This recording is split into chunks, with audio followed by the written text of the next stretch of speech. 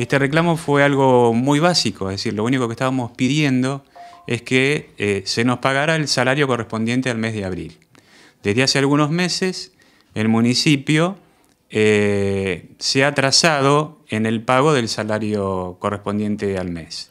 El municipio hace un pago a cuenta del primero al quinto día del mes y, eh, contrariamente a lo que venía sucediendo, que completaba ese sueldo dentro de los cinco días hábiles del mes, esta vez llegó el día 15 y no había completado de pagar el salario, en este caso correspondiente al mes de abril.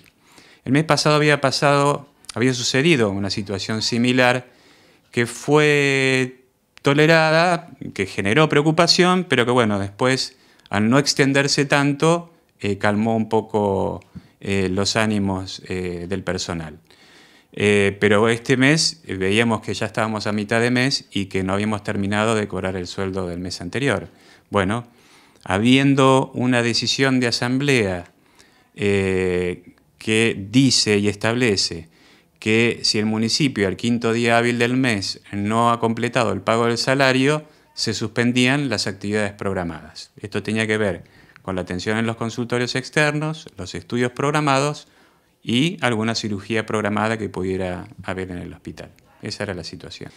Eh, lo que explica eh, la Secretaría de Salud es que esto se debe a la situación eh, económica del municipio, a la mala situación económica, algún recorte en la coparticipación provincial, pero bueno, eh, digamos, solucionar esto está en manos de, los funcionarios actuales y no del trabajador eh, de carrera hospitalaria en este caso. Por lo que se vislumbra en los meses eh, venideros, la situación va a estar también difícil en cuanto al cobro del salario. Entonces, la verdad que eso es un tema que nos, nos preocupa mucho yo creo que en este caso es cuando más comunicación tiene que haber entre la Asociación de Profesionales y los funcionarios responsables.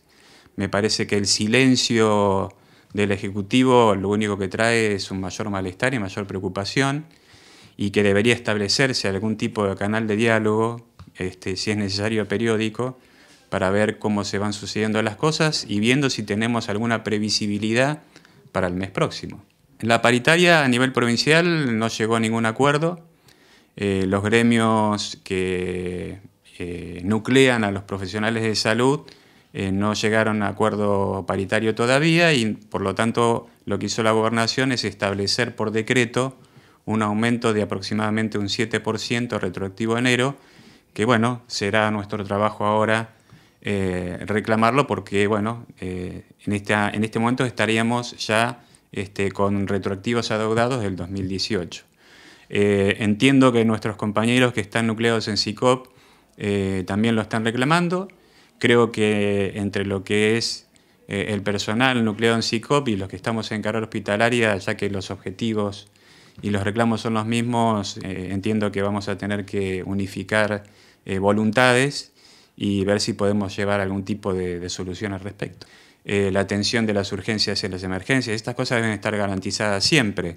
Nosotros vemos que, bueno, incluso desde antes de nuestro reclamo, eh, la atención en consultorios, por ejemplo, se veía este, dificultada porque, bueno, no hay una este, obtención de turnos por parte de, los pacientes y nosotros por ahí no podemos articular eh, esta cuestión de poder tener las historias clínicas para poder atender a esos pacientes.